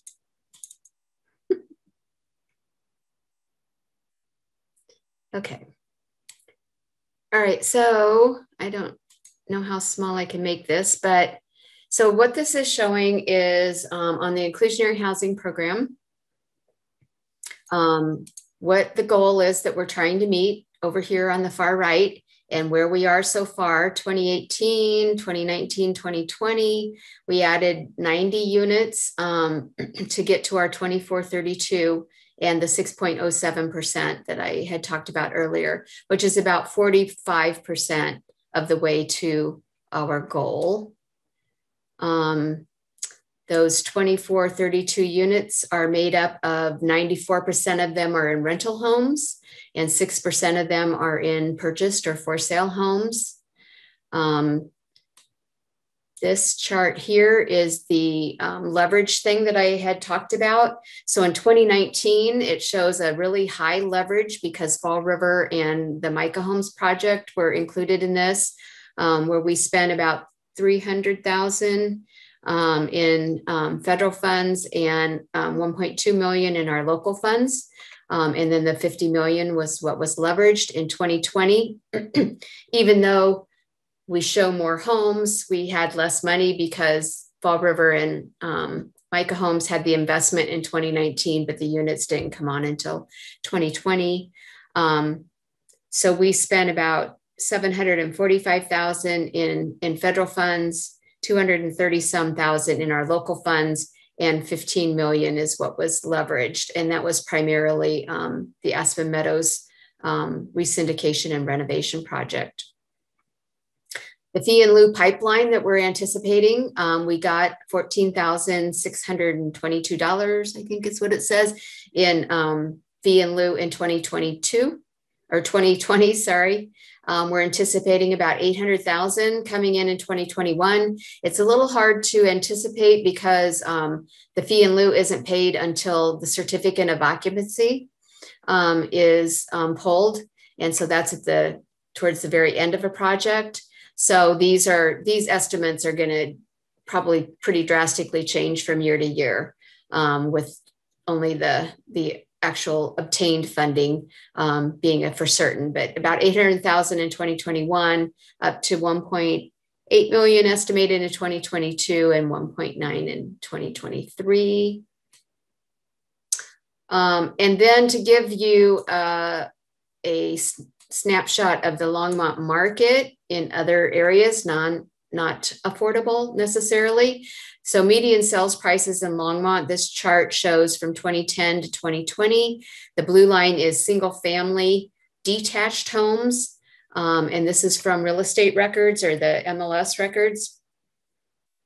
We are up to 478,951 is the median sales price of a single family detached home in Longmont at the end of 2020 and 347,700 for attached product for sale. Um, this chart over here on the on, I guess it would be your right as well. Looking at this um, is new homes versus existing home sales. So we take assessors data and um, figure out um, by how old a home is. Um, the newer homes, so less than I think it's 18 months, um, is considered a new home. How many of those are compared to the existing home sales? So as you can see, the majority of all of the years um, are existing home sales versus the brand newly constructed homes or um, first first sale homes in a in the first year. And the 2020 figure is so low because it's only through October 31st of 2020. Um, and there's so there's a lag in the assessor's data. So we will hope to get this updated. Um, one of our staff is working on that right now as well. So the income needed to purchase or rent a home in Longmont um, also continues to go up. Um, so compared to that single family detached home price and the single fa family attached home price, the blue line here is the income needed to afford that single family detached home sales price. Um, and the orange line, uh, the next one down, or reddish line is the income needed to afford the attached median home sales price. Um, the orange line that's kind of in the middle piece, I, I, so one of the changes we're going to make is to make these easier to tell what the colors are. Um, the income needed to afford the average rents is um, the second line up here, second um, full line. The gray line that's kind of in the middle is the city's median household income, and we don't have it for 2020 yet because it's based on census data. And then the dashed lines, um, a gray, gray dash and the um, kind of orangish dash is just showing you where the 80% HUD median income figure is for a three person household and the 50% um, median income HUD median income for a two person household. So those are kind of the figures that are used for um, an average rental and an average um, sales uh, family. And then finally, the bottom chart is showing um, the current re uh, the residential growth um, that we have had in Longmont. So all residential growth. So it's showing in the dark blue and dark orange um, the uh, permits, actual permits for each year 2018, 2019, 2020, and then the actual affordable homes provided in the orange. And then the lighter blue and lighter yellow are um, the estimated permits. So this is um, again based on the um, the permits are based on planning and development services estimates, and then the um, affordable units are based on ours on the what we know is coming up in the pipeline. The other thing I guess I just didn't point out that I do want to point out here um, back at the, the first page is that we are projecting um, the units that are in the pipeline coming up um, for 2021 is about 73 units. We're anticipating 2022, 175, 2023, 243. The further out you get, a little more nebulous the figures are, um, but that would bring us almost to 3,000 by 2023 if we can reach those goals. Um, and again, they're going to change as projects come and go, um, get approved and don't get approved. So, are there any questions on this, or what do you think generally of the layout, or is there information missing, or pieces of information that are on here that you could care less about? Any kind of thoughts? Councilwoman Christensen, you're muted. Kathy, we didn't get this in the packet. Could you send it to all of us? I sent it, uh, it just got finished today. So I sent it in an email that went out at about. Oh, okay. I must have missed it. All right. Thank you. Um, you know, about 40% of the people now are living alone, and none of these include how much would cost, uh, how much of, um, how much money you would need to afford a rental of a studio apartment if there were any, or a one bedroom apartment. That might be helpful. Okay. Yeah, I was thinking um, along the same lines of like being able to see um, what the income is needed for the various types uh, you know so studio one bedroom two bedroom three bed like to actually break it out um, by that to understand you know if you've got a family of four you roughly you know you might need two bedrooms at, at a minimum um, that sort of thing so it'd be interesting to see the income or the the at least the rates for what um, those various um, rentals in particular cost Okay. um, brian Kathy, I think this is absolutely lovely. It's informative. I like the graphics. It's got a lot of really good information. Um, so I applaud you on this.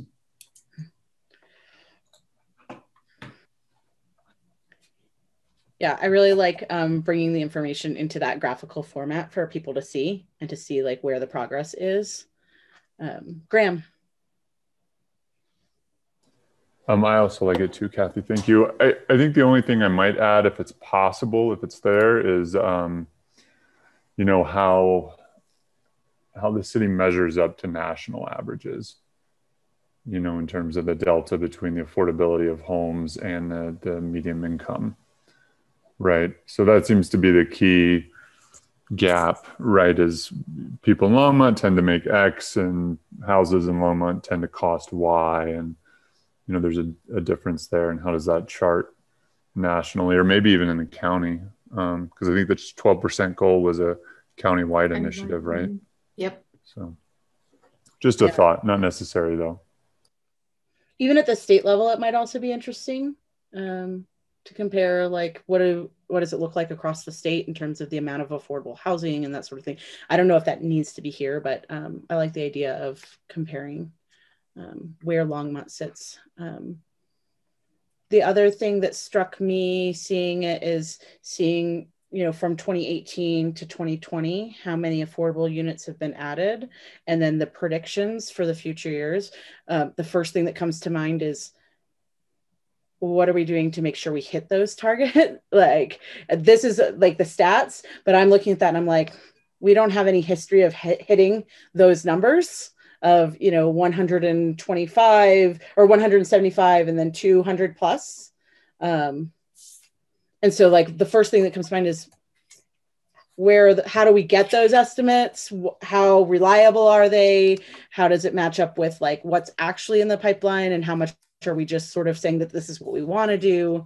Um, So that those are all figures that are that are actual units in the pipeline, and I can I they're tied to either inclusionary housing projects or um, I mean everything falls under inclusionary housing now because we're pretty much past uh, the the cutoff, but um, it includes things that the, I know the housing authority is considering and has um, moving forward on um, that isn't in development process yet um, as well as um, you know projecting forward what we know is in the development review process right now. Now that's not to say some of these might you know they decide not to go ahead with it but that's not something we can really predict. We can only go with what we know at a point in time. Um, but I, I until you get out to 2023 i would say 2021 and 2022 are pretty realistic. Um, the further out you go obviously the more kind of wishy-washy it gets.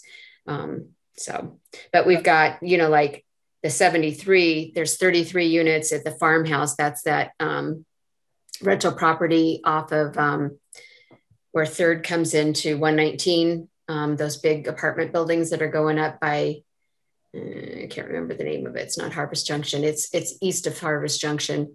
Um, so there's going to be 33 affordable units in those, and they should start leasing um, yet this year, at least some of them. We've got 10, probably 10 habitat homes that are going to be coming online. Um, I forget what the 26 is.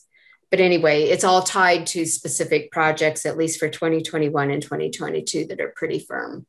Yeah, so maybe on that first graph with the um with like the really nice uh, cityscape on it, Mhm, um, identifying that 2021 and 2022 are based on projects already under, you know, however you want to phrase it, um, that those are based on actual projects in the pipeline and not just whereas 2023 is maybe not it's partially just to give a little bit of context there.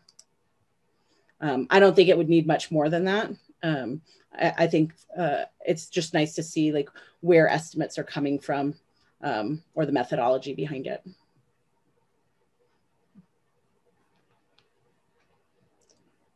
I really like that cityscape one. It's like a really nice timeline. Any other questions or feedback on on that from folks?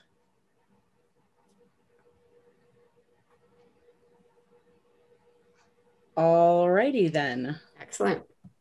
Thank you. I appreciate it. Thanks for putting that together. All right. Um, number eight is a discussion around the digital divide. So, Caitlin, it's Karen. So I realize that it's um it's nearly, you know, nine o'clock. We knew it'd be a, a a pretty full agenda, so we can certainly have the digital divide discussion at a later time. You know, what we did want to include it, it was a it was a suggestion when we talked about what did we want to um, put on our agendas for this year for for 2021 so what what is in your packet is uh, again if you read the summary of the needs assessment there were a couple of references to the digital divide and and certainly how we saw more of that issue when we uh, moved into covid particularly around older adults and um, and and by not having access to technology or internet you know how that continued to contribute to isolation. Certainly as as we all isolated in uh, uh, in this last year during the the pandemic as well as for uh, you know lower income households whose um, whose children whose students were in um, you know had to rely on technology for learning and just some of the um, gaps that we saw around that. So, and then what I included was just a, a summary of some of how we use the city used its um, its initial allocation of CARES Act funding, which was around $100,000 that we invested in trying to address some of the digital divide. We couldn't give devices away, it was prohibited by the CARES Act, um, but we could we could do an extended loan. And so that's really what we we worked on in terms of the uh, chromebook loan process that's coordinated through our public library um, because we could not give the devices away. We had to we had to loan them. So so we can go into more detail about that but i just wanted to let you know that is that is there. Plus you know our NextLight service broadband service did has come up with some different options, some lower cost options, um, as well as they uh, for their service, as well as they partner with the school district and um, brought in a big grant. It's uh, I don't remember what the exact amount was, but um, but over a million dollars to to really help to address um, and and bridge that digital divide among students in the um, in the school district so we can spend more time with that later. I realize it's it's nine o'clock, so I just wanted to let you know what was in the packet. Councilwoman Christensen. Um, I just wanted to add, uh, in terms of the digital divide, I was talking to Representative Neguse yesterday, and um, there will be some funding in the the COVID relief package for uh, the digital divide because um, we actually have quite a few uh, members of Congress who understand that that's a big problem. So that's good news coming to us. Right. Um, I think it would be great to, to come back to this if folks are okay yep. with that. I did have one question, Karen. Um, I know that some of our agencies that applied for funding, um, I can think of at least one off the top of my head, they were actually specifically providing cell phones to people who did not have them to ensure that they could um, access services, but also I think show up for court dates maybe um, while things were being done digitally because they couldn't go in person. And if you don't have a cell phone or a computer, it's a little hard to show up for something that's being done virtually. Um, I wonder if, as we are looking at some of these grants and so forth, if there's an opportunity to partner with some of our agencies to actually do this as well, where they have connections in the community to provide um, devices, for example, um, but might need you know some programmatic um, or some financial support. Um, so I would just suggest that we think about looking at that um, as well. Mm-hmm. Um, Eliberto.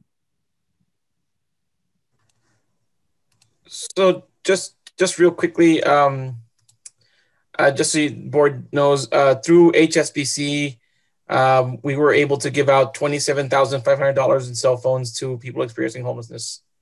So that's one area where we were able to pass out phones. Awesome.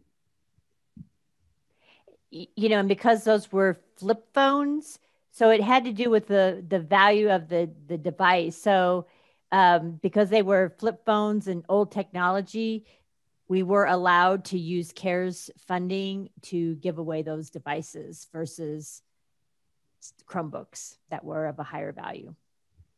Interesting. We'll see what this new, um, and I'm assuming, um, you know, Polly, you're talking about the American Rescue Fund plan, whatever. So yeah, we'll we'll see what um, how those those dollars, um, what kind of restrictions are on those particular dollars but yeah, it's it's a we'll we are continuing to look at that because it is a it's a significant need in the community.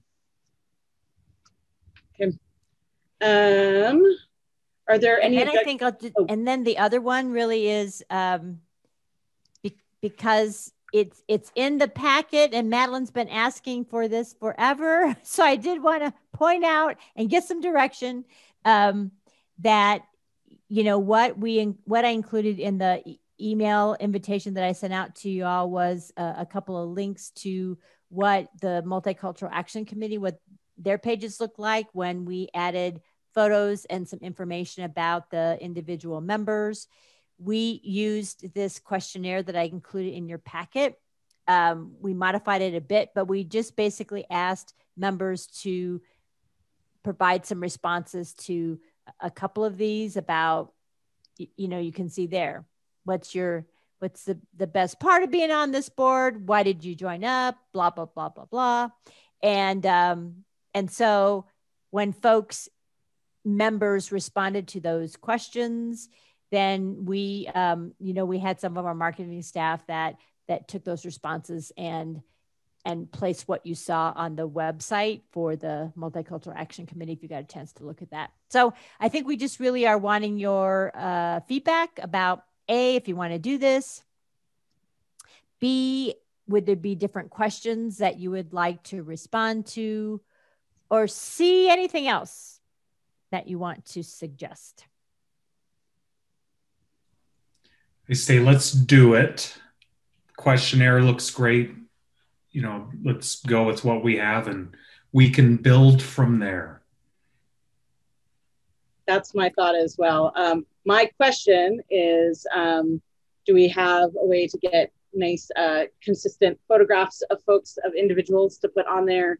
Um, and what's the option there?